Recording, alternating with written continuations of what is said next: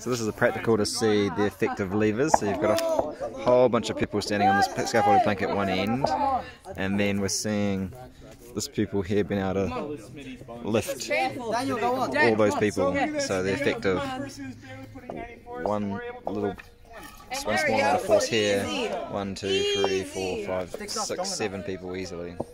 The power of a lever.